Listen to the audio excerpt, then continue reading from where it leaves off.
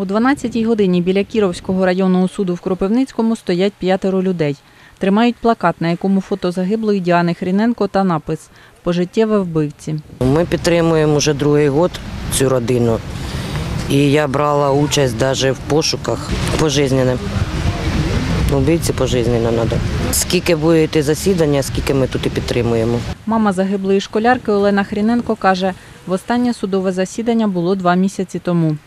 Тривала ця перерва в зв'язку з тим, що попереднє засідання було відкладено, тому що захворів е, один із е, суддів. Е, Неявка свідків взагалі постійно не відпрацьована система, щоб пришвидшити розгляд і було для потерпілих це легше. О 12.30 починають засідання. Не з'явилися четверо свідків.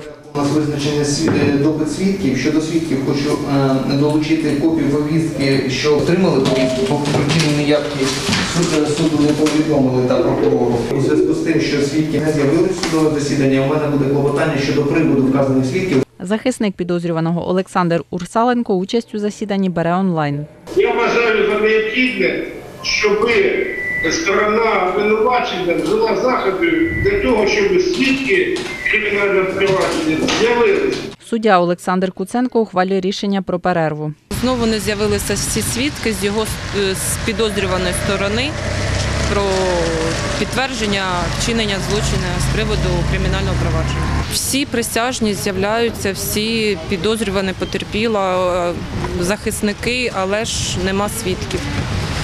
Один із них, який переховується практично, це підозрюваного брат.